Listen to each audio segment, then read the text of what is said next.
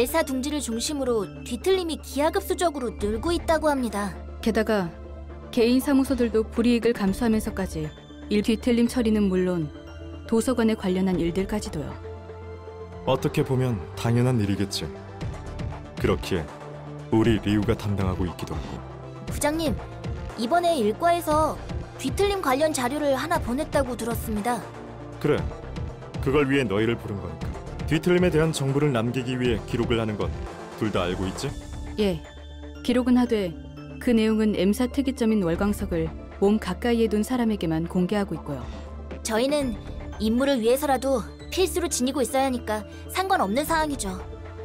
그런데 일반적인 자료가 아닌가 보네요. 맞아. 영상을 보는데 꽤 신경 쓰이는 부분이 있어서. 일단 결론부터 말하자면 리우 일과는 오는아이 생포 작전에 실패했다. 설마 전멸입니까? 아니, 놓친 거야. 하지만 일과 그것도 샤오 부장님께서 놓치실 정도면 도시 악몽 정도가 아닐 겁니다. 혹시 등급이 오르기라도 했습니까? 우선 영상부터 보도록 하자. 이 부분부터. 다들 정신 차려! 우리는 무슨 일이 있어도 뒤로 물러나지 않는다! 알겠습니다. 부장님, 방금 우는 아이가 바닥으로 추락했습니다. 저걸로 더 날아다닐 순 없겠지. 얼마 남지 않았어. 조금만 더 버티면 되니 밀어붙이도록! 부장님, 옆에 뭐? 불쌍해라. 고작 이런 애 하나 잡겠다고 리우 일과가 나설 정도라니. 네 내면에 흐르는 순수하고 깨끗한 선율을 아무도 몰라주는구나. 푸른 잔향. 안녕, 오랜만이네. 그렇지? 인사가 여전히 호전적이야. 또 무슨 사건을 일으키려는지 모르겠지만 이번엔 얌전히 물러났으면 좋겠는데. 난 그저 어디에서도 받아주지 않는 저 가여운 친구를 데려가려는 것뿐이야. 상처투성이에 버림받고 이제는 너희 같은 사람들이 처리하려고 하잖아. 슬프네. 그저 울고 싶었을 뿐인데. 대신 눈물을 흘려주고 싶은 심정이야. 헛소리 집어치워! 넌 대체 무엇이 부족해서 이런 일을 벌이는 거지? 너 정도 되는 해결사면 굳이 이런 일을 벌일 필요가 없을 텐데 계속해서 이런 가짜는 짓을 벌이고 다닌다면 아무리 특색이라도 언젠가 처리하란 명령이 떨어질 거다. 부족함이 없다. 처리당한다. 너는 지금의 삶에 만족하고 있어? 겉으로 보이는 풍족함이 전부는 아니지. 내 마음 한 구석은 언제나 비어 있어. 그 빈 공간은 쓸데없는 거로 채우려고 하면 점점 더 넓어져서 그래. 그 공간에만 있어야 할 무언가를 찾아야 하는 거야. 난 찾은 것 같거든. 하지만 아직 손에 넣지는 못했어. 하루빨리 그 빈 곳을 채워 나를 완전하게 만들고 싶네. 아, 내게는 있다고 했나? 소중한 사람. 입 놀리지 마. 그렇게 노려보면 농담도 못하겠어. 오늘은 서로 속 드러내는 일 없었으면 좋겠으니 이 무서운 친구 좀 치워. 한 가지만 묻겠다. 대체 저런 괴물을 데려가서 뭘 하려는 거지?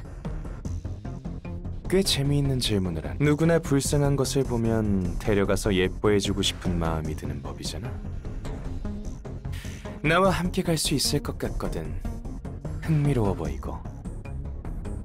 그렇지 않아, 오스왈드? 지금은 시큼한 향이 나지만 분명 우리와 함께 더러운 악취를 풍길 수 있겠죠. 씻는 법을 모르면 이렇게 여상 시큼한 냄새가 나는 거라고요. 제가 깔끔히 단정해 주려고 했는데 저 해골 씨가 이상한 것으로 보내는 바람에 뭐라는 거야?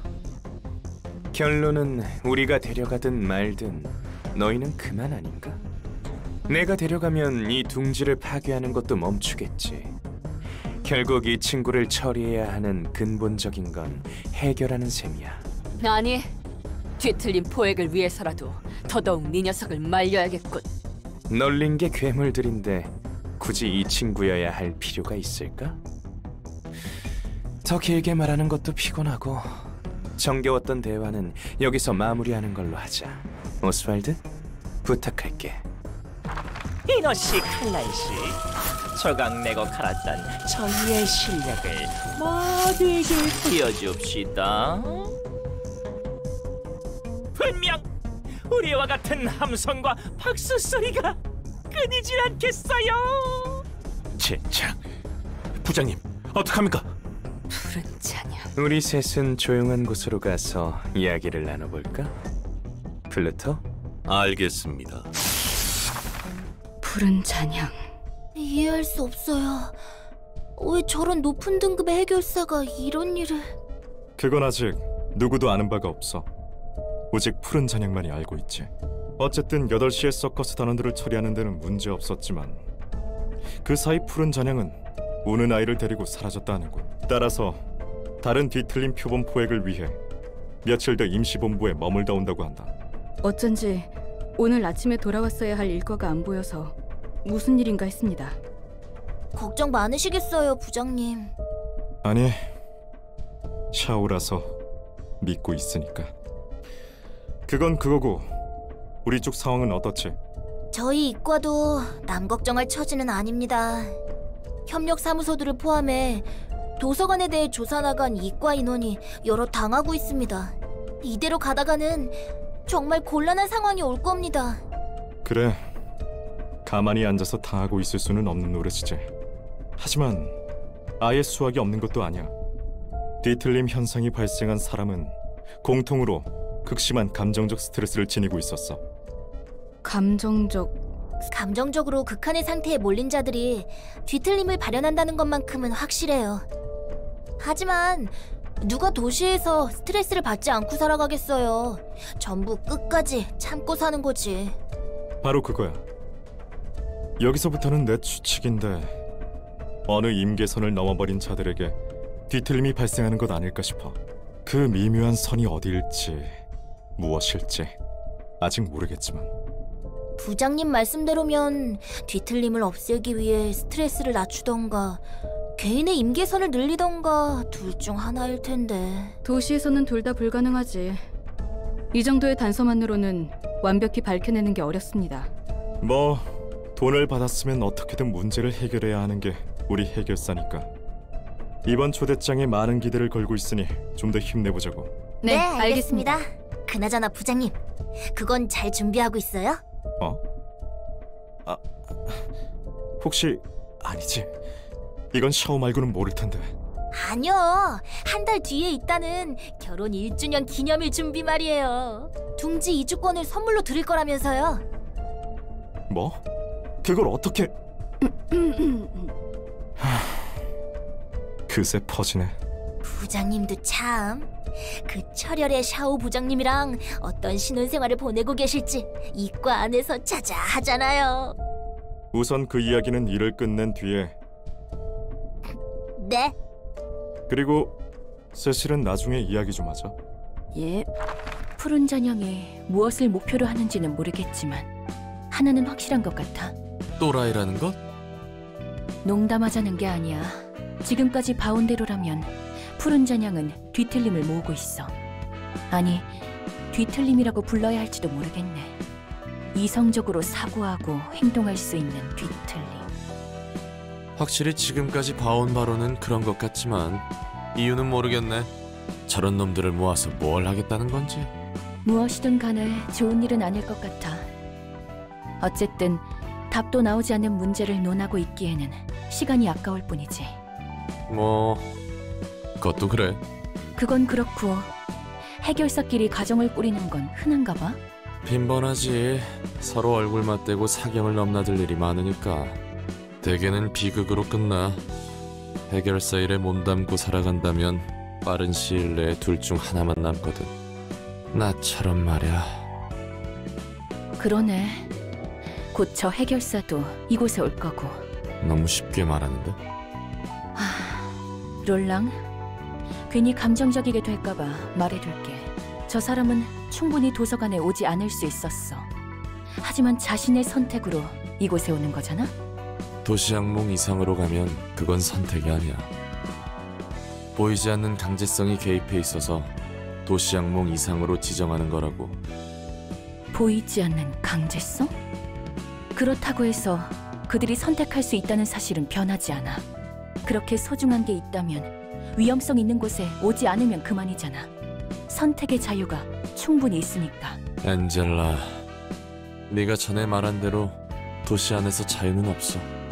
선택과 자유, 소중한 것을 마음에 품는다고? 도시에서 살아가는 사람들은 그저 개인의 욕망이 얽히고 설켜 보이지 않는 사슬을 만들어낼 뿐이야. 저들이 협회의 명령에 따라 이곳에 오는 것도 그동안 도서관에서 잠든 수많은 손님도 내가 일을 위해 잠시 집을 비운 것도 자유에 따른 선택처럼 보이지만 결국 타인의 욕망으로 얽힌 족쇄에 묶여 있을 뿐이지. 그래서 저들을 배려하기 위해 나는 내 자유를 얻고자 하면 안 된다는 거야? 난 기계라서? 자격이 없으니까? 아니, 그런 건 상관없어. 하지만 이런 방법으로 얻은 자유는 언젠가 자신의 목을 조르는 결과를 불러올 거야. 헛소리 집어치워. 그건 그거고, 이건 이거잖아. 도착했습니다. 생각보다 고풍스러운 곳이네요. 그러게 말이야. 부장님 신혼집도 이런 느낌이려나요? 샤오는 좀 더 귀여운 걸 좋아. 메이, 쓸데없는 소리 말고 일에 집중해. 일과 부장님의 취향이 그랬군요. 참고하도록 하겠습니다. 환영합니다, 손님. 저는 이곳의 관장이자 사서인 엔젤라입니다. 우리는 리우 협회 남부 지부 이과 해결서다. 초대장에 적힌 책을 회수하기 위해 왔지. 시련을 극복하신다면 충분히 가능합니다. 더 할 말 있는가? 초대장에 적힌 책들이 당 무슨 소리지? 행복한 일상을 떠나보내도 될 만큼 가치가 있느냐는 거죠. 인간의 삶이 궁금한 기계인가요? 당신이 말한 행복한 일상을 지키기 위해 해야 하는 일이야. 하고 싶어서 하는 일은 그리 많지 않아. 가려감이 일을 할 만큼 여유롭지도 않지. 그럭 떠밀렸다는 거네요. 이제 들어가도 괜찮은가? 네. 부디 당신의 책을 찾으실 수 있기를.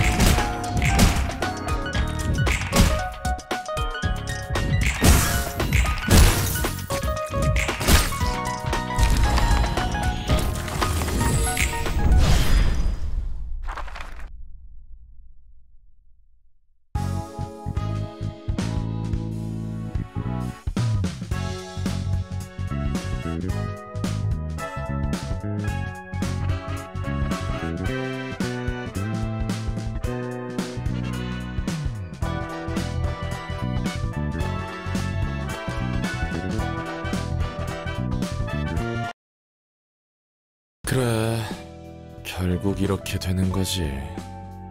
나는 잘 모르겠네. 행복한 일상을 지키기 위해 해야 하는 일도, 그들이 어떤 마음가짐으로 일을 하는지도.